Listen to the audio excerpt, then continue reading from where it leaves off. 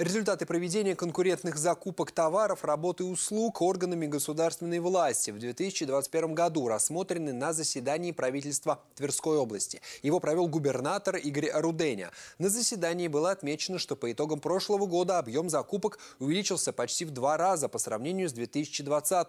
Общий объем средств составил 64 миллиарда рублей.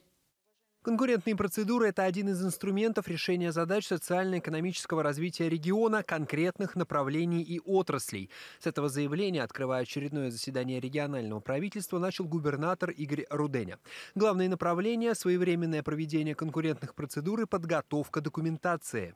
Прежде чем этим э, вопросом заниматься, э, надо изучить рынок, изучить, какие компании работают на рынке работают в Центральном федеральном округе, работают в соседних федеральных округах. Потому что мы понимаем, что при масштабных и дорогостоящих работах э, имеет большое значение мобилизация исполнителя работ. Это перевоз техники, привлечение людей, это постановка на налоговый учет.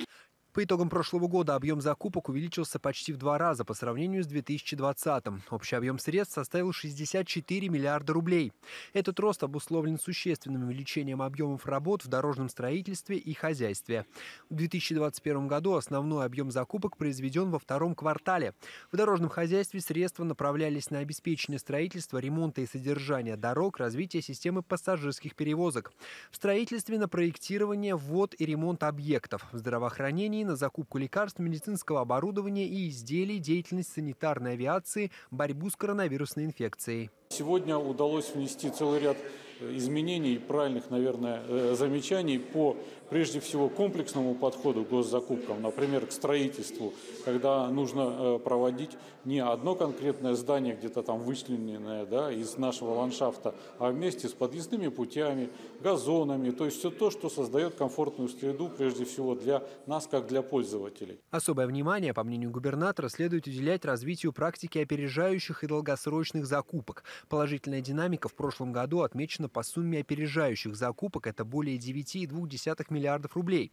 В 1,4 раза больше, чем в предыдущем году. В 2,5 раза увеличилась сумма долгосрочных закупок до 33,6 миллиарда рублей. Тогда как в 2020 она составляла 13,1 миллиарда рублей. Среди ключевых долгосрочных контрактов строительство западного моста в Твери, Бежецкой центральной районной больницы, развитие новой модели пассажирских перевозок, рекультивация полигона ТКО на 13 километре километре Бежевского шоссе под Тверью, строительство автомобильной дороги Москва-Рига-Ржев и других проектов. Один из ключевых вопросов, который сегодня обсуждался, при проведении закупочных процедур а, понимать реалистичность исполнения сроков, а, это поэтапный контроль каждого, а, так сказать,